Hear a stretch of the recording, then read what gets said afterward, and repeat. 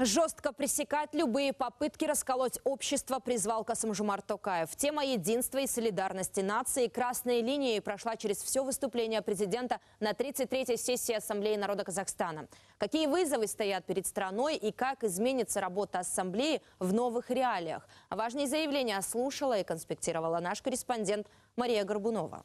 Сессия Ассамблеи на фоне природного катаклизма в стране проходит онлайн. И поэтому, по словам Касым Жумарта Токаева, сейчас не до длительных совещаний. Президент напомнил, единство и солидарность остаются главным приоритетом государственной политики. И сейчас, когда все мы проходим общенациональный тест на прочность, важно сплотиться и сделать шаг в лучшее будущее, не отклоняясь от главной идеи – строить государство равных возможностей.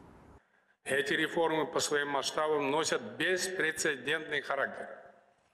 Но почивать на лаврах нельзя. Нужно продолжать их качественную реализацию, только что я об этом сказал.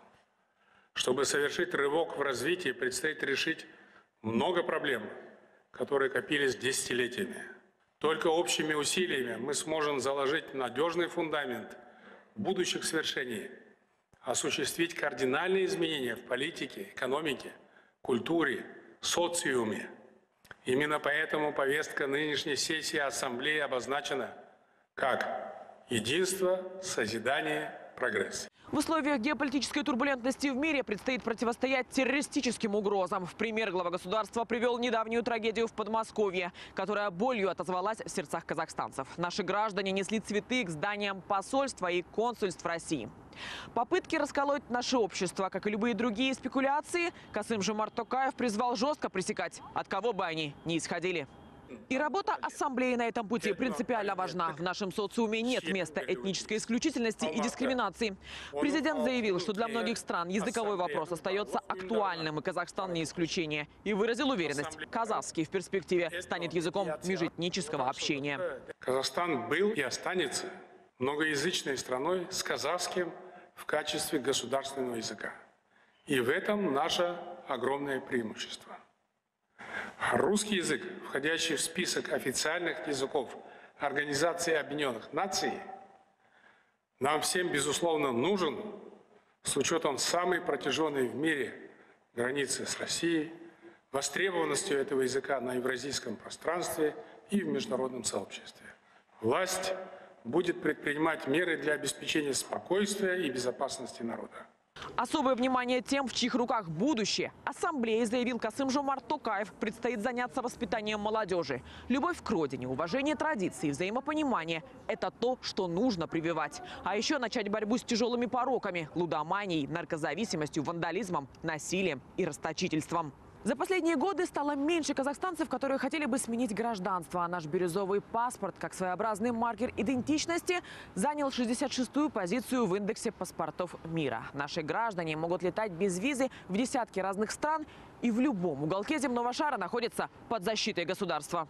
Вспомните, когда мир охватила пандемия коронавируса и во многих странах были введены локдауны. Казахстан оперативно организовывал эвакуацию своих граждан с разных уголков земного шара.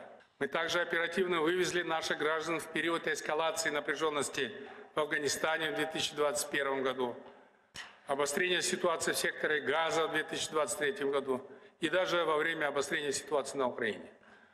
Всякий раз, когда где-либо за рубежом для наших граждан возникает угроза безопасности, мы принимаем решительные меры чтобы как можно скорее вернуть их на родину.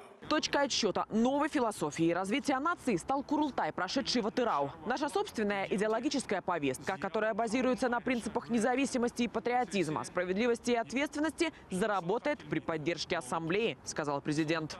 В следующем году мы отметим 30-летие Ассамблеи народа Казахстана. Очень важное мероприятие, политически важное, я бы сказал. Это не просто собрались, отметили, похлопали – выступили и так далее. Нужно подойти к этому юбилею крайне вдумчиво. Ассамблея проявила себя в качестве эффективного инструмента нашей выверенной политики межэтнического согласия и общенационального единства.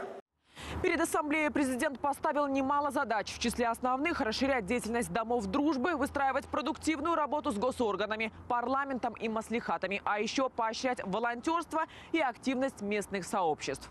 Масштабные перемены, по словам президента, начинаются с малых шагов. Ведь каждый из нас со своей стороны может сделать что-то, чтобы не только искать проблемы в обществе, но и помочь их решить. Мария Горбунова, Сет Нургалиев, Астана. Первый канал Евразия.